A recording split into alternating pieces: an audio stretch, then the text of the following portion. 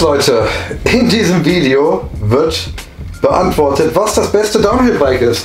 Vielleicht habt ihr euch das auch schon mal gefragt und ich hab's die Community gefragt und dachte mir so, hey, wir werten das Ganze jetzt gleich mal aus, schauen uns die einzelnen Downhill-Bikes mal an und machen so ein Ranking, welches für euch oder unsere Community hier wirklich das beste Downhill-Bike gewesen ist. So. Das ist also keine, kein echtes Review oder sowas, sondern eher so ein, ja, wie so ein Bike Battle mäßig. Halt für Downhill-Bikes, die man aber kaufen kann und die jetzt noch keinem gehören. Also viel Spaß bei diesem Video. Wir gehen an den Schreibtisch. So Leute, wir sitzen jetzt am Schreibtisch und ich werde jetzt die ganzen Kommentare hier, die ich bekommen habe, die werden wir uns angucken. Die Frage war, was war das beste oder was ist das beste Downhill-Bike? Und ich bin super gespannt, was ihr dort alles gesagt habt. Ähm, ich öffne jetzt hier mal die ganzen Dinger nebeneinander, damit ihr mal sehen könnt, wie viele Screenshots. Ich musste so viele Screenshots machen und wir werden uns die immer kurz anschauen im Internet, ob das Ding vielleicht sogar verfügbar ist oder nicht. Und ähm, dann werde ich meine Meinung dazu sagen und wir werden eine Strichliste führen, parallel in meinen Notizen, die uns am Ende halt den Gewinner küren, sozusagen, was das beste Downhill-Bike ist. Das heißt, ich bin sehr, sehr gespannt, was dabei jetzt rausgekommen ist, Leute. Wir schauen uns das jetzt gemeinsam an, aber ich zeige euch jetzt hier erstmal ganz kurz, das ist echt der Hammer, wie viele Nachrichten ihr ähm, hier reingehauen habt. Das ist echt der Hammer. Guckt euch das mal an. Hier, die ganzen Teile hier sind alles die Screenshots von Instagram und die ziehen wir uns jetzt gemeinsam rein. So, wir starten hier ganz oben mit dem Z Steven. Er sagt Santa Cruz. Ähm, Santa Cruz, also ähm, Santa, Moment, Top DH Bike. Santa Cruz V10. So. Kriegt jetzt einen Strich. Oh, hier eins draus. So. Wer das nicht kennt, also ich glaube, jeder kennt das Santa äh, Cruz V10. Da müssen wir, glaube ich, gar nicht drüber sprechen. Ähm, hier bei SKX Bikes zum Beispiel ist es immer noch relativ oft verfügbar. Das heißt, hier lohnt sich auf jeden Fall mal reinzuschauen. Gut, hier ist jetzt in Größe S nur da. Ähm, ist auch hier ein Ticken runtergesetzt, 12%. Ich finde persönlich ähm, das Santa Cruz V10 von der Farbe her ist das mega, gefällt mir mega gut, aber es wäre nicht mein Bike irgendwie. Ich mag hier dieses umgelenkte Ding nicht und ähm, ja, aber ja, viele Leute feiern das richtig. Nina Hoffmann fährt das ja auch im World Cup. Vielleicht ist deswegen so ein bisschen so ein Fan-Ding auch. Oder sagen, ja, okay, wenn die World Cup damit fährt, muss das ja was sein. Ähm, wichtig ist zu sagen, die Meinung, die ich jetzt vertrete für das Bike, ne, ist komplett subjektiv. Ich bin wahrscheinlich keins der Bikes gefahren oder vielleicht wenige. Ich weiß ja nicht, welche jetzt alle noch reinkommen. Ähm, das heißt, ich kann da gar keine super genaue Meinung zu abgeben. Es ist total einfach nur Geschmackssache, was ich jetzt hier so bewerte. So, der Tarn schreibt, kommt auf den Fahrer an. Bessere Frage, was ist das teuerste DH-Bike? Ja, das können wir das nächste Mal machen. Bike and Ride schreibt Mark Bartsch. Ähm, ja, Mark Bartsch ist ein super äh, Downhill-Bike. Ähm, wir nehmen ihn auch auf jeden Fall mit ins Ranking auf. Wer ihn nicht kennt, Mark Bartsch, ähm, lohnt sich auf jeden Fall mal vorbeizuschauen, Leute. Hier, Mark Bartsch. Könnt ihr reinschauen. Lasst gerne ein Abo da. Oh, mit dem Kanal habe ich hier noch gar nicht abonniert. Schenken wir ihm direkt ein Abo. Wichtig ist auch immer die Glocke zu aktivieren. Checkt Mark Bartsch ab. Gut, weiter geht's. Ähm, damit das Video nicht 100 Jahre dauert. Das Commensal Supreme DH V5. Ich würde sagen, wir nehmen einfach mal das das äh, einfach so als Commensal Supreme. Kriegt jetzt auch einen Punkt. Das kennt ihr auch alle, glaube ich. Auch ähm, super beliebtes Bike. Ja. Ich finde es auch ein geiles Bike. Mir gefällt allerdings optisch hier nicht so diese, dieser, dieser große Spalt. Und hier dieses Ding hier gefällt mir nicht so. Aber wie das sich fährt, keine Ahnung. Ähm, ich glaube, es wird trotzdem ein mega geiles Bike sein. Wird sich wahrscheinlich echt ähm, lohnen, da mal vorbeizuschauen. Ich finde das Bike rein optisch nicht ganz mein Fall, aber auf jeden Fall auch ordentlich. Gefällt mir schon ganz gut. So, Mike, Santa Cruz V10 in meinen Augen, aber sowas ist immer Geschmackssache. Ja, sage ich ja auch, ist Geschmackssache, aber Santa Cruz V10 bekommt den nächsten Punkt. Dann Finn KTH, YT Tues, bin ich echt zufrieden mit. Ja, das YT Tours bekommt auch einen Punkt. Kennt ihr wahrscheinlich auch alle. Ich muss sagen, auch ein echt schickes Bike. Ähm, Produkte, Bikes, Tues. Ich finde vor allem ähm, das, das hier, das Pro, finde ich richtig, richtig schick. Ne, das Pro Race. So. Aber das Pro ist auch schön. Aber mit der Fox Factory Gabel natürlich nochmal irgendwie eine Nummer schicker. Ähm, Preissegment finde ich das auch echt in Ordnung. Vor allem auch für 3,4 die Basis oder 3,5 die Basisausstattung finde ich auch echt ähm, super okay. Guter Preis. Vor allem bei den Pre steigenden Preisen im Moment von den Bikes, Leute. Richtig, richtig crazy. So. Dann hier nochmal einmal. Commensal Supreme bekommt den nächsten Punkt. Commensal Supreme geht äh, gleich auf mit dem Santa Cruz. Weiter geht's. Canyon Talk DHX 2015. Canyon Talk DHX 2015. Das Ding kenne ich überhaupt gar nicht. Ähm, Canyon Talk DHX 2015. Es ist das. Ich kenne es halt gar nicht. Aber da gab es das Talk anscheinend mal als Downhill-Bike. Ähm, ist mir jetzt, sieht für mich zu oldschool aus und irgendwie so klein. Nicht so ganz mein Fall, aber sehr interessant auf jeden Fall, dass es da mal so einen Talk gab. Dann, Freebite Marco schreibt V10, V10 geht in Führung mit drei Punkten. Dann noch einmal YT Choose Comp 2020 packen wir mit in YT Choose mit rein. Da Vinci Wilson. Okay. Den kenne ich auch noch nicht. Da Vinci Wilson. Aha.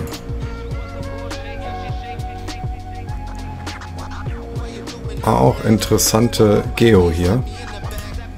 Mein Fall wäre es rein optisch auch gar nicht. Aber wie man halt ja, schon so oft liest in den Kommentaren hier, ist das ganze Ding ja Geschmackssache. Also, noch einen weiteren haben wir in der Liste drin. Ähm, genau, und dann sind wir hier bei denen, die hatten wir schon. Rose Soulfire DH oder Cube 215 HPC SL. Ähm, wir nehmen mal Cube 215 komplett mit auf. Da gibt es ja ganz viele verschiedene Varianten von. Und das Rose, schreiben wir einfach Rose DH. Ähm, kennt ihr alle? Rose Soulfire DH. Ähm, auch Preis-Leistung finde ich ein super gutes Bike irgendwie. Rein optisch wäre es nicht so meins. Allerdings ähm, ist da echt Rose von den Preisen her. Kann man da echt null meckern, ne? Beim Cube 215 finde ich persönlich das Race am schönsten. Das ist nicht das, was er jetzt meinte hier in den Kommentaren, aber ich finde, das ist äh, mega cool. Sieht voll sexy aus, das Bike. Gefällt mir persönlich auch richtig, richtig gut. Ähm, auch Preis-Leistung hier. Die meisten verkaufen das für 3,2. Ist echt voll in Ordnung. So, was haben wir noch? Nochmal ein YT Tues Punkt. Tues ist bei 3. Cortina DH8, schreibt der Sender Steve. Ja, Traumbike. Hammer Teil. Cortina. DH8. Hammerbike, Steve. Da sehe ich dich auch drauf. Dann Canyon Sender. Wer ist eigentlich die schönste Frau? Alles Ansichtssache. Ja, voll und ganz ist natürlich alles auf jeden Fall Ansichtssache. Ähm, Canyon Sender kennt ihr alle. Ich bin eins mal jetzt Probe gefahren in M. Es ist aber viel zu klein für mich gewesen. Ich bräuchte auf jeden Fall ein L und ähm, bin es aber noch nie Probe gefahren, kann es nicht sagen. Ich finde persönlich alle Bikes von Canyon einfach mega schön. Ich finde die machen einfach richtig schöne Fahrräder. Ähm, bin auch bisher immer noch super zufrieden mit dem Talk. Da kann ich echt nicht meckern über Canyon.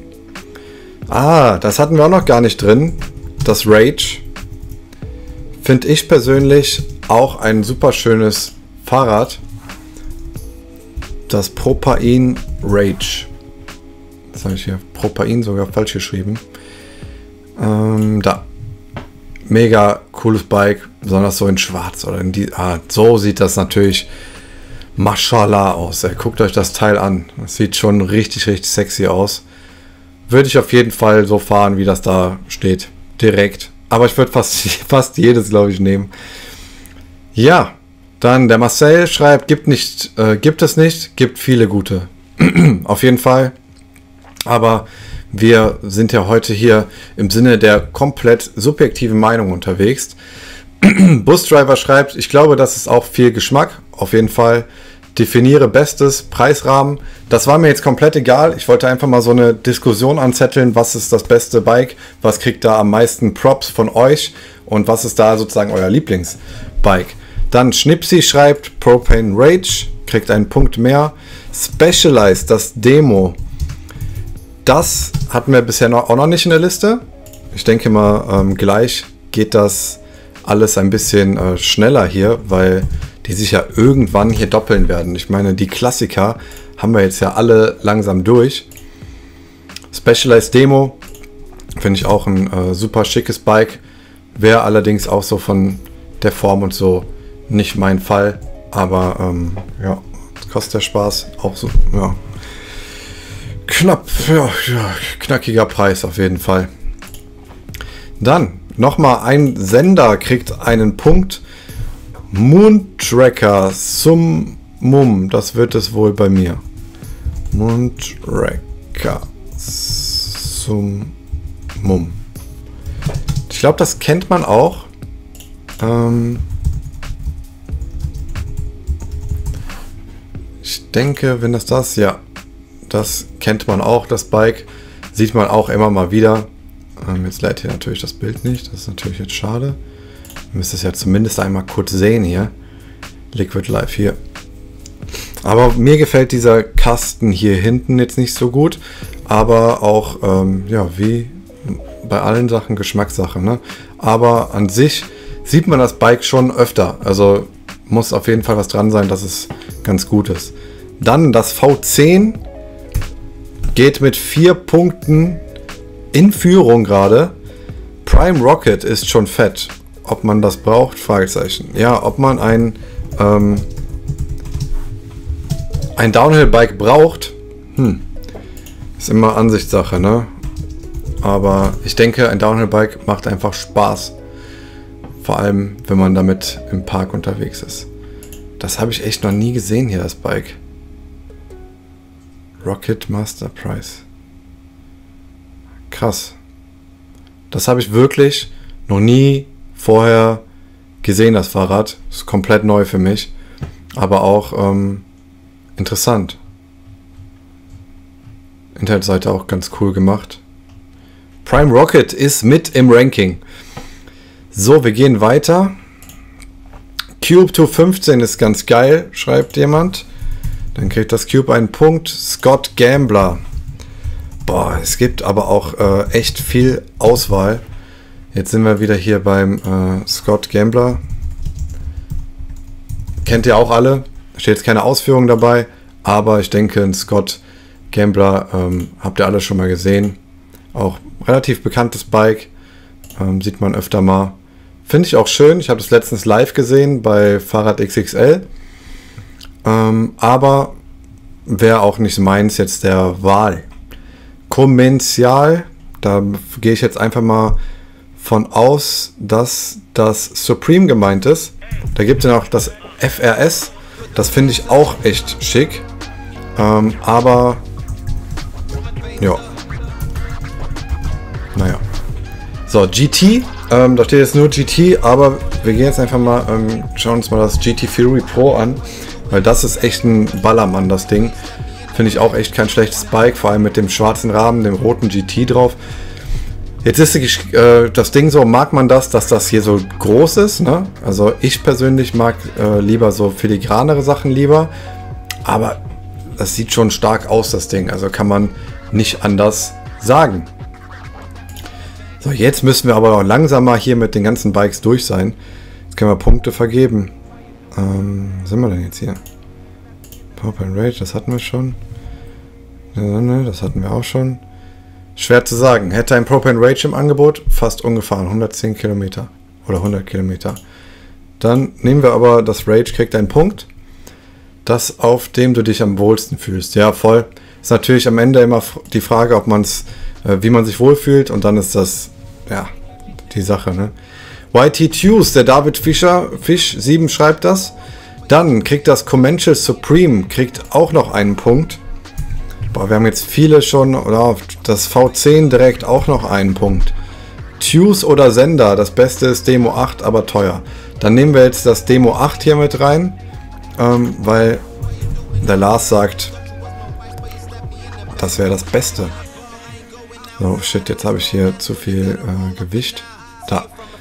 Wenn du so fragst, kommt wohl eher das beliebteste. Genau, darum geht es eigentlich am Ende. Ähm, wohl bei dieser Umfrage. Das beliebteste, ich mag meinen Gambler. Dann geben wir, lieber Dom, dem Gambler, ich verliere hier langsam Übersicht auf der Liste, auch einen zweiten Punkt. Timo, Canyon Sender. Dann kriegt das Sender auch noch einen Punkt. Sender hat jetzt auch schon drei Punkte. Auch nicht schlecht. Nicht schlecht. So, weiter geht's. Pivot Phoenix, das hatten wir noch nicht. Boah, die Liste wird lang, Leute. Damit hätte ich jetzt nicht gerechnet hier. Also, Pivot Phoenix, mega starkes Bike. Finde ich auch persönlich super, super schön. Allgemein die Bikes von denen, ne, finde ich einfach schon eine Boah, schon eine super Sache. In M sogar verfügbar, Leute. Wenn ihr M fahrt, schlagt zu. Blue und Comet. Ah, okay. Weg. Das Zement, das bessere, schönere. So. Wo sind wir stehen geblieben? Da. Specialized Demo. Kriegt einen Punkt. Oh, ich bin hier langsam. Da. Specialized Demo.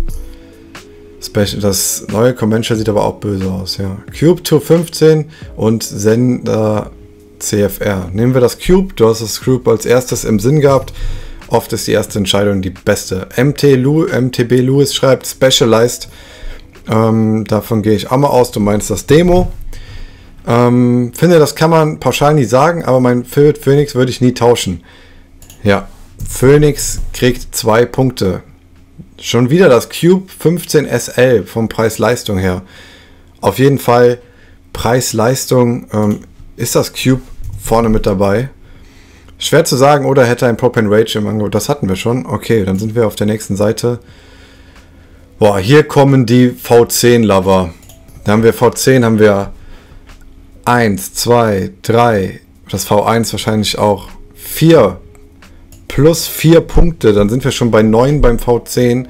Das Enduro Nils und der MTB Elias meinen das Tues. Dann kriegt das Tues auch nochmal 2 Punkte, sind wir bei 6. Dann nochmal, das hatten wir schon. Sehr gut, wir kommen hier voran. Boah, Comanche Furious. Marke Eigenbau. Intense. Boah, da sind jetzt nochmal so viele. Leute, da sind jetzt so ein paar drin, die sind, glaube ich, nur ganz selten genannt. Damit die Liste nicht unendlich lang wird, ähm, lassen wir die raus. Ähm, nehmen jetzt die, die noch, die schon drin sind. Nehmen wir einmal das Tues, das hat sieben Punkte jetzt. Dann das Sender mit vier Punkten. Track Session müssen wir aufnehmen, auf jeden Fall. Weil, äh, ja, ist auch so ein Bike, das sieht man öfter. Ich zeige es euch mal ganz kurz. Aber ähm, ich denke, ein Track Session dürfte jedem bekannt sein. Äh, Alena Strunk ne, fährt das Track Session. Hier. Cooles Bike. Würde ich auch nehmen. Dann haben wir hier äh, die Wertung hatten wir schon. Prime Rocket oder Scott Gambler. Dann äh, geben wir dem Rocket doch mal einen zweiten Punkt, würde ich sagen. Dann haben wir hier nochmal Santa Cruz, ist dann bei 10 Punkten schon. Nochmal ein Track Session. Commercial Supreme hat, rückt auf auf 5 Punkte. Ähm, das Tues bekommt auch einen achten Punkt. Ja. Ah, und hier nochmal ein V10. Mann, ey, das V10 ist aber echt euer Liebling, ne? Krasse Sache. GT LTSDH. Ähm, wir nehmen jetzt einfach mal hier das GT, den Punkt mit dazu. Ähm, Conventional Supreme kriegt noch einen. Der Mundracker bekommt auch noch einen. Ich weiß gar nicht, ob ich die alle über, übrigens richtig äh, ausspreche. Das brandneue Supreme, wenn du racen willst. Machen das Supreme einen siebten Punkt. Propane Rage haben wir auch noch mal dabei. Wo ist denn das Rage hier in der Liste? Nein, nein, nein, nein, nein. Vier. Vier Punkte hat das Rage. Dann nochmal Rage oder Track Slash. Dann geben wir hier dem Rage den fünften Punkt. Die hatten wir schon. Die letzten zwei. Das, mit dem ich glücklich bin und das ist meins. Das ist auf jeden Fall eine schöne Ansichtssache. Ähm, willst du einen Krieg in deiner Community auslösen? Ja, wir hatten einen kleinen Krieg ausgelöst. Ähm, wir können das, die ganze Diskussion weiterführen in den Kommentaren. Also haut in die Kommentare rein, welches Bike hier auf jeden Fall noch ins Ranking reingemusst hätte. Dann Trail Granny, das, das zu dir passt, auf jeden Fall. Pivot Phoenix für schnell fahren. Dann geben wir dem Phoenix, wir wollen ja alle schnell fahren. Dann Freeride Oscar, ich glaube Canyon Sender. Dann kriegt das Sender den fünften Punkt. Es ist tatsächlich besser dabei, als ich dachte. Dann äh, das Beste, gibt es wirklich ein Bestes? Ja, das hatte ich dann beantwortet. Nochmal, das Sender kriegt noch einen Punkt. Das Rage kriegt noch einen Punkt. Und dann sind wir auf der letzten Seite. Jetzt wird's spannend, Leute. Das Supreme holt nochmal auf mit acht Punkten. Dann hier steht das V10 als erstes drin. Nehmen wir das V10 mit 12. Es sieht echt gut aus fürs V10, Leute. Dann das Sender rückt auf mit 7. Dann das Demo bekommt auch noch einen Punkt mit 5 Punkten. Dann das Choose steht weit oben. Track Session steht weit oben. Ja, das, das, wir nehmen immer die erste Wertung. War nicht gefragt, aber so cool sind DHs gar nicht, weil es sind einseitig. Lieber ein Enduro, alles Könner. Ja, auf jeden Fall. Aber wenn man irgendwie ein DH in der, in der Ecke rumstehen hat oder in, im Keller, glaube ich, freut man sich trotzdem. Pivot. Nur vier Punkte hat es bekommen, ist echt wenig. Es, finde ich, ist eins echt der schicksten. Und nochmal das Tues mit 10. Boah, das sieht stark. Das war die letzte Wertung. Das war die letzte Wertung, Leute. So, wir haben Santa Cruz, Sieger mit 12 Punkten. Dann ist direkt dahinter das Tues, auch ein Lieblingsbike von euch auf jeden Fall, mit 10 Punkten. Und dann haben wir das Supreme auf Platz 3. Die ersten drei Plätze nehmen wir mal hier mit rein. Herzlichen Glückwunsch, Santa Cruz V10. Ähm, mega schickes Bike. Wir schauen es hier nochmal an, aber ähm, ihr kennt das ja alle. Das äh, mega Bike hier. Ja, ist halt eine total subjektive Meinung, ne? Das sind jetzt die ersten drei Plätze. Ich hätte persönlich nicht gedacht, dass das Sender auf Platz 4 landet mit sieben Punkten. Allerdings, ja, ich mag Canyon auch, ähm, aber ja, das V10 wird schon oft immer gesagt. Und auch wenn man sich mit Leuten unterhält, hat man immer das Gefühl, es ist das V10, was euch so am besten gefällt oder was den Leuten am besten gefällt. Ja, war äh, mal eine andere Art Video jetzt. Ich hatte das so lange schon auf der Liste. Die Umfrage ist ja auch schon recht alt jetzt mittlerweile, aber ich musste das jetzt endlich mal abarbeiten, das Thema. Und ähm, danke euch fürs Zuschauen, Leute. Lasst gerne ein Abo da. Wir sehen uns im nächsten Video dann wieder auf dem Trail, nicht hier beim Streaming-Setup. Und Streams sind nicht abgeschrieben, aber ich habe im Moment leider einfach viel zu wenig Zeit für das ganze Thema.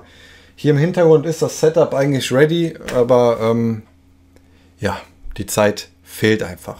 Ich wünsche euch einen schönen Tag, Leute. Macht's gut. Bis zum nächsten Mal.